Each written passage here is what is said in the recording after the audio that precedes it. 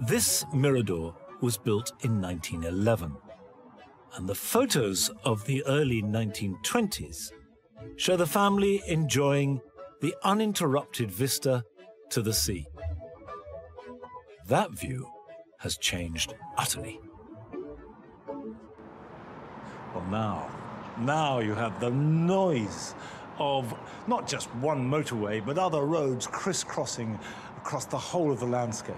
Houses as far as the eye can see, factories. There are cranes on the horizon, and just beyond them, there's a faintest smudge, which I suppose is the sea. So this is the view of modern Spain.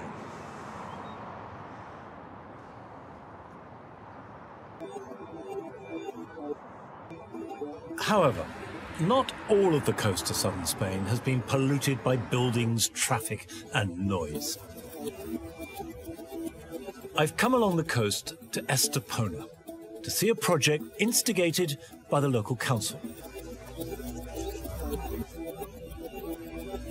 It's designed to counter this trend and restore some of the former charm of this part of the coast and make it a better place for the modern inhabitants to live in.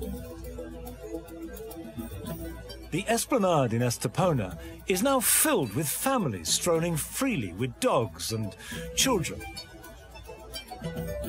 creating a safe and handsome link between the town and the sea. But this is the result of a decade-long project to rescue the city from being a traffic-filled, car-dominated chaos to what amounts now to a huge communal garden.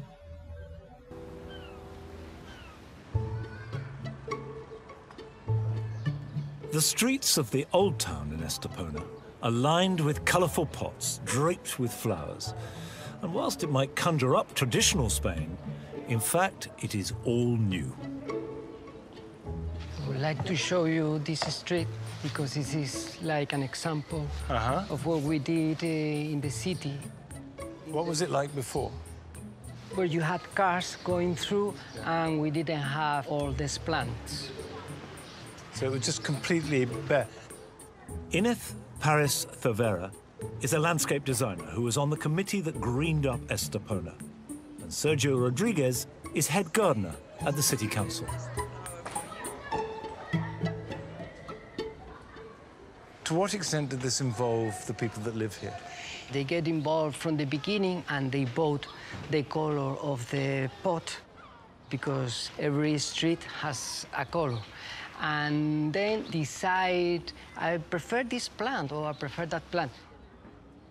But, but what about maintenance? I mean, this is very hot, it's very dry. Do you have to water them? In winter, we water once per week. In summer, sometimes we even have to water three times. And how many pots are there in all in the city? More than 16,000 we have. Yeah. And each one watered individually, by hand. Yes. Yeah. Wow. Yes. Wow, wow, wow. So we're looking nearly 50,000 doses of water Yeah. every week. Twice. Well, yeah, okay. In pursuit of this greening process, the whole geography of the town has been changed. The council even bought houses so it can knock them down and thus create more open planted spaces. In all, 14 kilometres have been restored and 135 streets renovated.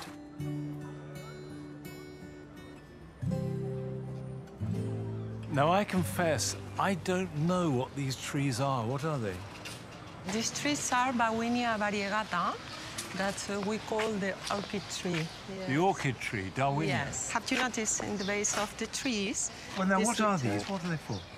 Every child that gets born, the family wants, they apply to the council and they say, we want to godfather a tree for So they adopt a tree. the adopted How tree. How much does that cost? Does it cost a lot? Nothing at all. It's free. It's free. It's just, it's the spiritual connection. That's it. It's a very beautiful idea. I like it.